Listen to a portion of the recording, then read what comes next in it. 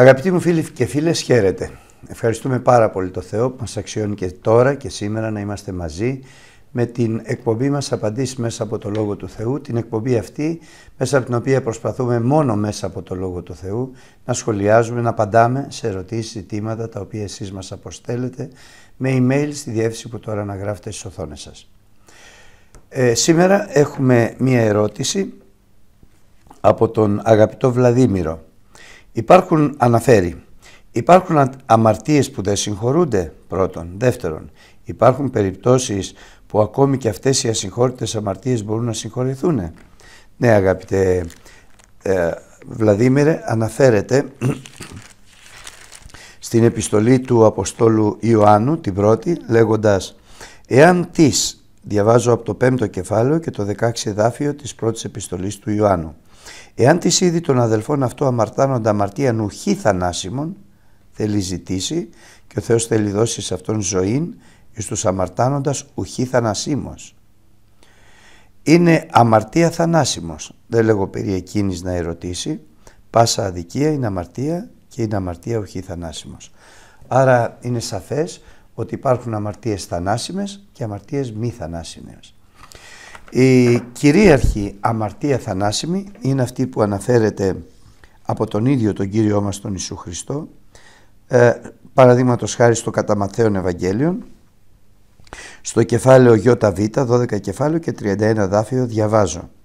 Δια τούτο σας λέγω πάσα αμαρτία και βλασφημία θέλει συγχωρεθεί στους ανθρώπους. Η κατά του πνεύματος όμως βλασφημία δεν θέλει συγχωρεθεί στους ανθρώπους και ως της είπε λόγων κατά του Ιού του ανθρώπου θέλει συγχωρεθεί σε Αυτόν.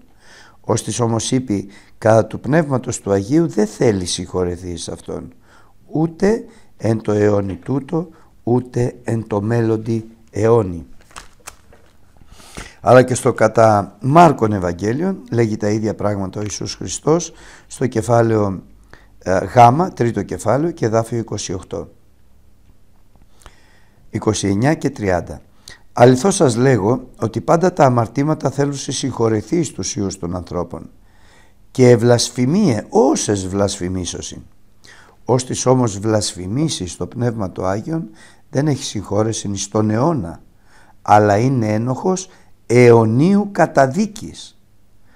Και τούτο το έλεγε διότι έλεγον πνεύμα ακάθαρτον έχει. Άρα Ποια είναι η βλασφημία του Αγίου Πνεύματος η οποία είναι θανάσιμος αμαρτία. Γιατί όποιος βλασφημίσει τον Υιόν ή τον Πατέρα συγχωρείται, όποιος πει λόγο εναντίον του Υιού ή του Πατρός συγχωρείται, αλλά όποιος βλασφημίσει ή πει λόγον κατά του Πνεύματος του Αγίου δεν βλασφημείται. Είναι το τρίτο πρόσωπο της θεότητος, Πατέρας, Λόγος και Πνεύμα Άγιο, Πατήριος και Πνεύμα Άγιο, ο παράκλητος στο Πνεύμα της Αληθείας, το οποίο συμμετέχει ενεργά στην αναγέννηση του ανθρώπου καθώς ο άνθρωπος αναγεννέται από το Λόγο του Θεού και το Πνεύμα του Άγιο. Το Πνεύμα του Άγιο λοιπόν με το οποίο δεν θα επεκταθούμε με τα χαρακτηριστικά του είναι ο παράκλητος, το Πνεύμα της Αληθείας στο οποίο ο Θεός δεν δέχεται βλασφημία και δεν δέχεται και κατηγορία. Μία από τις κυρίαρχες βλασφημίες, ίσως και η μοναδική, είναι όταν τις ενέργειες του Πνεύματος του Αγίου οι άνθρωποι τις αποδίδουν σε πνεύματα πονηρίας. Είναι η χειρότερη βλασφημία που μπορούσε να πεις στα πράγματα του Θεού. Είναι αυτό που στο καταμάρκον λέγει ο Χριστός διότι έλεγον ότι ο Ιησούς Χριστός έχει πνεύμα κάθαρτον. Το πλήρης πνεύματος Αγίου, χωρίς μέτρο το πνεύμα δοθένει σε Αυτόν, δια πνεύματος Αγίου ενεργούσε τα πάντα, δια της δυνάμεως του πνεύματος του Αγίου και αυτοί έλεγαν ότι αυτό δεν είναι πνεύμα Άγιον, αλλά είναι πνεύμα κάθαρτον.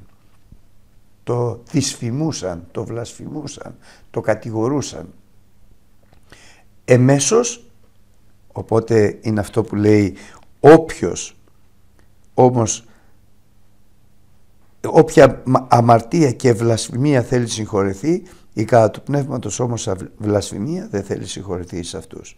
Αλλά και ούτε λόγων κατά του πνεύματος όπως λέει όποιος είπε κατά του πνεύματος του Αγίου ε, δεν θέλει συγχωρεθεί στον αιώνα τούτο ούτε στο μέλλοντα. Κατά του πνεύματος του Αγίου ε, κατηγορία λόγο εναντίον.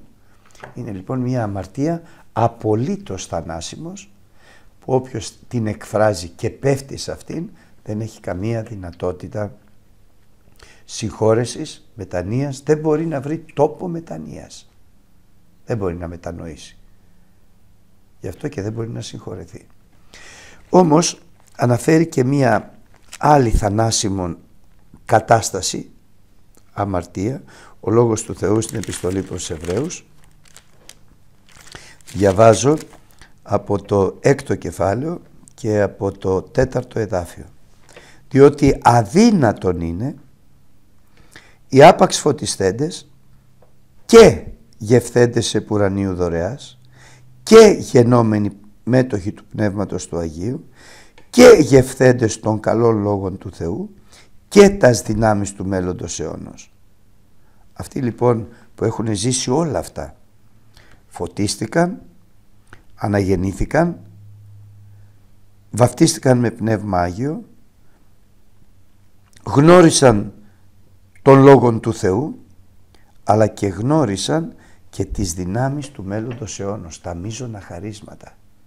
Δηλαδή ένα παράδειγμα, ο Απόστολος Πέτρος δηλαδή και ο Απόστολος Παύλος και όλοι αυτοί οι Απόστολοι της πρώτης Αποστολικής Εκκλησίας αν αμάρταναν και παρέπιπτον έπειτα παραπεσόντες λέει η Γραφή αδύνατον να ανακοινιστώσει πάλι εις μετάνοια ανασταυρούντες εις αυτούς των ιών του Θεού και κατεσχύνοντες. Και εδώ μιλάμε για θανάσιμη αμαρτία αλλά ειδικών ανθρώπων. Ενώ στην πρώτη φορά η βλασφημία του Πνεύματος του Αγίου είναι όλων των ανθρώπων. Εδώ είναι ειδικών ανθρώπων, ιδιαιτέρων ανθρώπων με μεγάλα χαρίσματα, με τα μείζωνα χαρίσματα και με όλη τη γνώση της παρουσίας και της δύναμης του Θεού. Γιατί και εξηγεί στο 7 εδάφιο, διότι γη ή της σπίνη, της, την πολλάκης ερχομένη επ' αυτής βροχήν και γεννά βοτάμιν, βοτάνιν ωφέλιμον εις εκείνους δια τους οποίους και γεωργείται, μεταλαμβάνει ευλογίαν παραθεού. Όταν όμως αυτή η γη εκφύει ακάνθας και τριβόλους, είναι αδόκιμος και πλησίον κατάρας, της οποίας το τέλος είναι να καυθεί. Και φέρνει ένα ωραίο παράδειγμα, μια γη η οποία βρέχεται από τον ουρανό, πρώτον, και γεωργείται από ανθρώπους, καλλιεργείται από ανθρώπους, ώστε αυτά που βγάζει να είναι ωφέλιμα εις εκείνον για τους οποίους γεωργείται. Δηλαδή μεταλαμβάνει, όπως λέει ο Λόγος του Θεού, όλη την ευλογία του Θεού. Αν αυτή τώρα η γη, παρόλο που καλλιεργείται, παρόλο που γεωργείται, σπέρνεται, βγάζει άσχημα πράγματα, δηλαδή βγάζει τριβόλους ακάνθας, είναι αδόκιμος η γη αυτή. Δηλαδή παρόλη τη φροντίδα, την καλλιέργεια, το πότισμα, την, τα πάντα σε μία γη κάνει ο άνθρωπος. Και παρόλα αυτά βγάζει αγκάθια και τριβόλια, αυτή η γη δεν κάνει για καλλιεργία, για καλλιέργεια είναι αδόκιμος.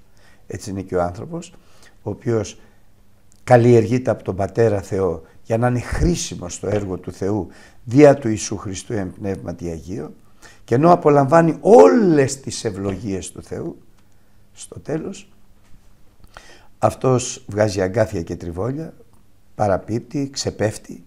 Αυτός πια δεν μπορεί να ξαναμετανοήσει δεν μπορεί να ξαναφέρει σε μετάνοια ο Θεός στην καρδιά του.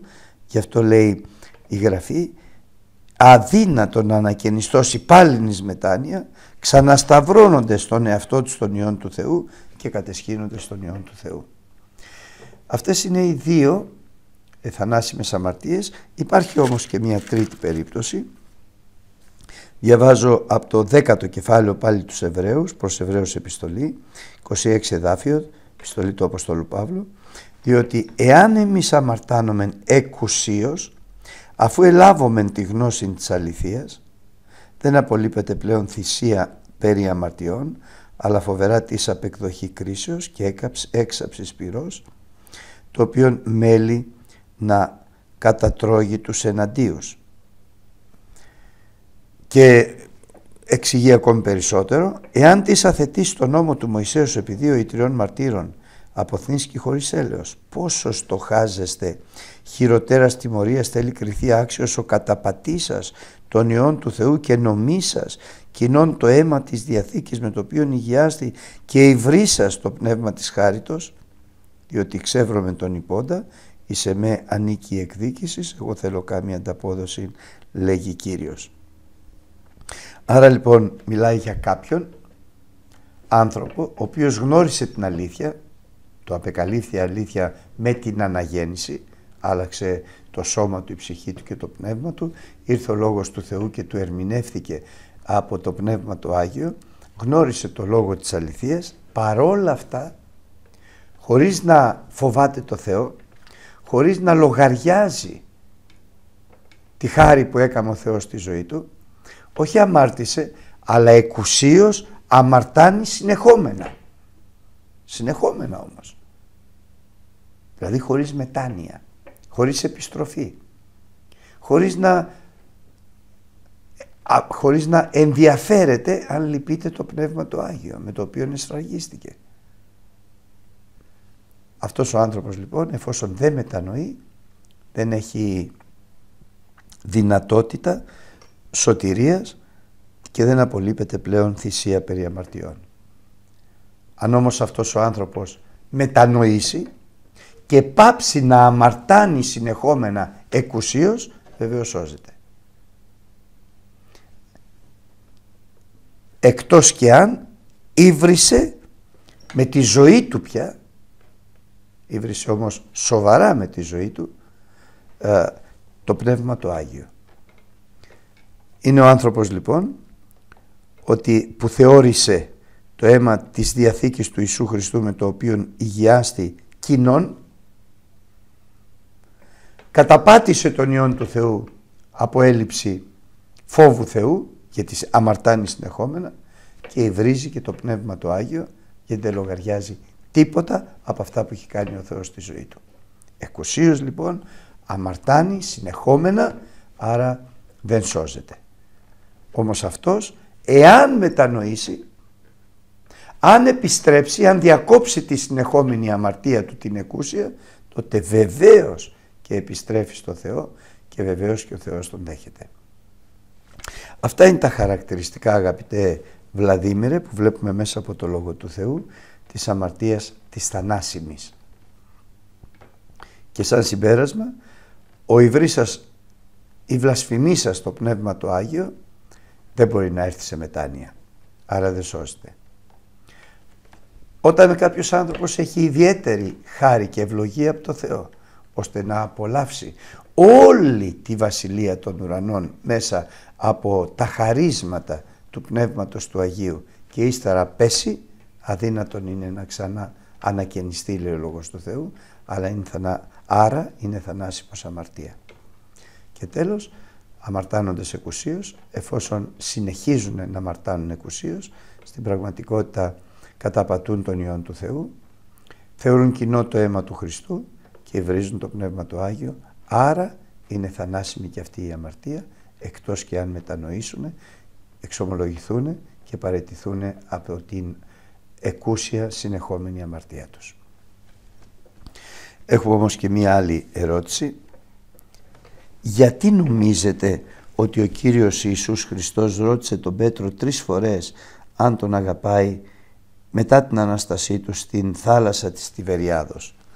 Αναφέρεσε προφανώς στο κατά Ιωάννη Ευαγγέλιο εκεί όπου ο Πέτρος μαζί με άλλους έξι μαθητάς, σύνολο 7, αποφασίσαν να πάνε να αλλιεύσουν και λέει μάλιστα η γραφή, λέγει προς αυτούς Σιμών Πέτρος «Υπάγω να αλλιεύσω».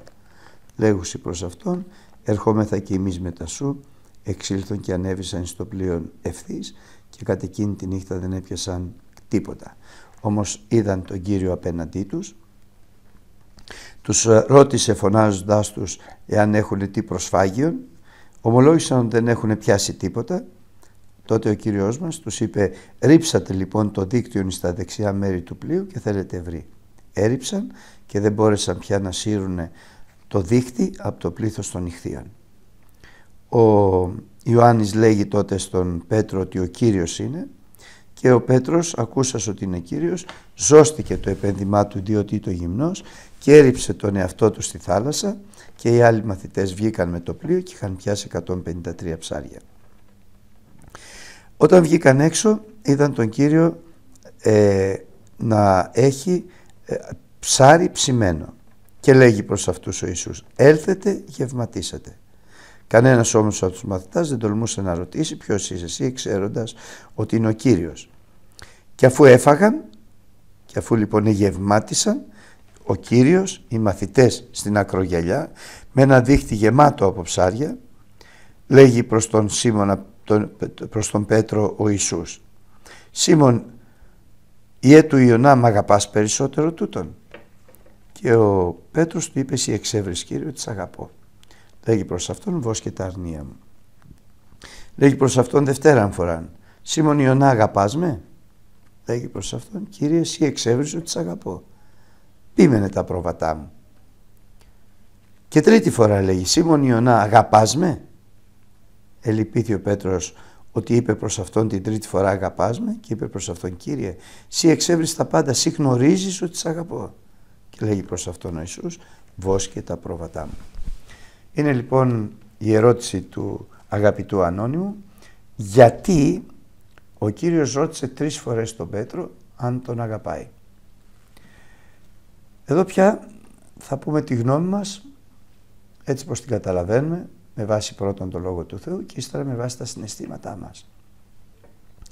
Επειδή ο Κύριος επρόκειτο τρεις προτάσεις να φέρει μπροστά του, τρεις εντολές. Το πρώτο είναι «βόσκε τα αρνία μου», τα μικρά αρνάκια δηλαδή, που σημαίνει Ευαγγελιστής. Το δεύτερο είναι «πίμενε τα πρόβατά μου», πολλά πρόβατα, ποιμένας. Και το τρίτο «βόσκε τα πρόβατά μου», μεγάλα πρόβατα, βόσκε, τάιζε, που σημαίνει διδάσκαλος. Είχε τρεις προτάσεις λοιπόν, γι' αυτό και οι τρεις αυτές προτάσεις, επειδή υπόβαθρο έχουν την αγάπη,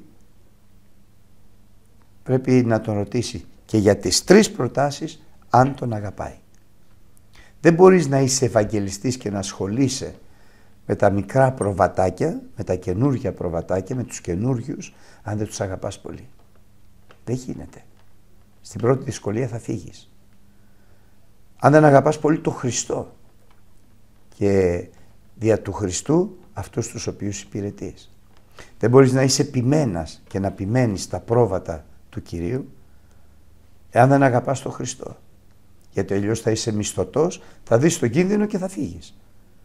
Μόνο αυτός που αγαπάει τον Χριστό και το έργο του Θεού μπορεί να είναι καλός ποιμένας και όχι μισθωτός. Και δεν μπορείς να είσαι και καλός διδάσκαλος, να μην εισαγάγεις αιρέσεις απολίες μέσα, ετεροδιδασκαλίες, αλλά να φροντίζεις για την καλή τροφή των προβάτων, εάν δεν αγαπάς τον Χριστό. Γιατί αυτός που αγαπάει τον Χριστό είναι αυτός που έχει τις εντολές του. Έχοντας εντολάς μου και φυλάτων αυτά, εκείνος είναι ο αγαπώνα. Ναι. Μία λοιπόν απάντηση σε αυτή την ερώτηση αγαπητέ φίλε είναι ότι οι τρεις προτάσεις, οι τρεις αποστολές που δίνει ο Χριστός στον Πέτρο, Ευαγγελιστής, ποιμένας, διδάσκαλος, προφανώς και Απόστολος, προϋποθέτουν απεριόριστη αγάπη στο Χριστό και ταυτόχρονα προϋποθέτουν την ερμηνεία του τι σημαίνει αγαπώ το Χριστό, σημαίνει έχω τις εντολές Του, αλλά και τις φυλάτω. Αν δεν έχω τις εντολές Του και φυλάτω τις εντολές Του, και τα δύο αν δεν έχω, να έχω και να φυλάτω τις εντολές του Χριστού, δεν μπορώ να είμαι ευαγγελιστής, δεν μπορώ να είμαι επιμένας, δεν μπορώ να είμαι διδάσκαλος. Όμως υπάρχει και μια άλλη απάντηση συναισθηματική που επιμένει για να βεβαιωθεί. Για να το καταλάβετε θα σας πω ένα παράδειγμα από τη ζωή μου. Όταν πιστέψαμε μαζί με τη γυναίκα μου, είχαμε πάει στον πύργο και εκεί ζούσαμε μαζί με τα αδέλφια λίγες μέρες και ήταν πάρα πολύ ωραία.